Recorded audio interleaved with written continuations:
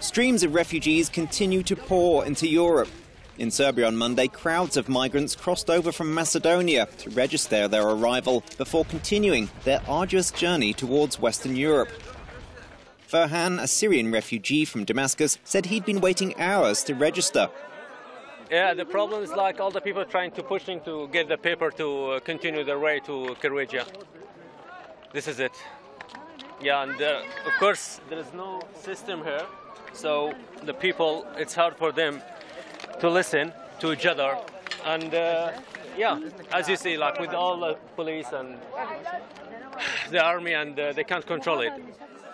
After registering new arrivals, Serbia buses migrants from the town towards its border with Croatia. But the centre is overcrowded and chaotic, with several thousand people arriving every day.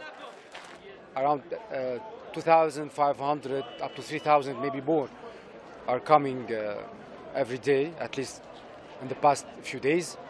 Um, and uh, they have to register and go. Uh, the queue is very long. Uh, and uh, the conditions also are very, um, very hard, especially for families to wait for long periods for their turn.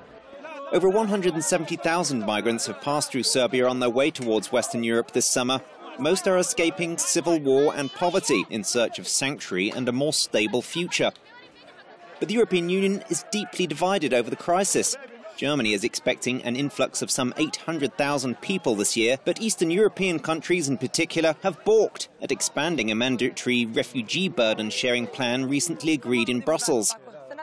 Experts say the refugee quota plans have already proved woefully inadequate and warn the crisis could last for years, or at least until the Syrian civil war is ended.